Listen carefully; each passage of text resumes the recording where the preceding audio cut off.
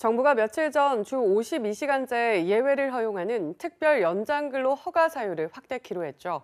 양대 노총인 민주노총과 한국노총은 정부의 노동 정책이 후퇴했다며 소송을 추진키로 했습니다. 한상용 기자입니다. 한국노총의 김동명 신임위원장이 첫 대회 일정으로 민주노총을 찾았습니다. 취임 인사차 노동계 파트너인 민주노총을 예방한 건데 양대 노총 위원장은 지금의 정부 노동정책에 비판적 입장을 공유했습니다. 특히 최근 시행된 특별 연장근로 인가 사유 확대에 공동 대응하겠다는 뜻도 전했습니다.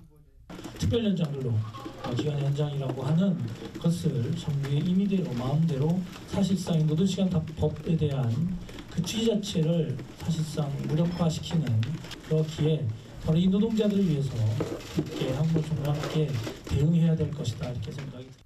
한국노총도 정부의 노동정책이 후퇴했다면서 양대 노총 간 연대 의사를 밝혔습니다. 아, 여러 가지 그 노동정책이 그 후퇴했다는 것은 그 부인할 수 없을 것입니다.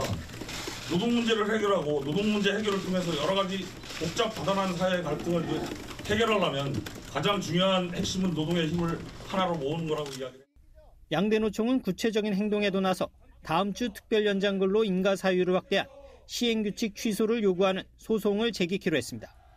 실제로 노동계가 정부의 주요 노동정책에 반기를 들고 직접 행동에 나설 경우 정부 또는 경영계와의 갈등이 더 심해질 수 있다는 우려도 나옵니다. 연합뉴스TV 한상용입니다.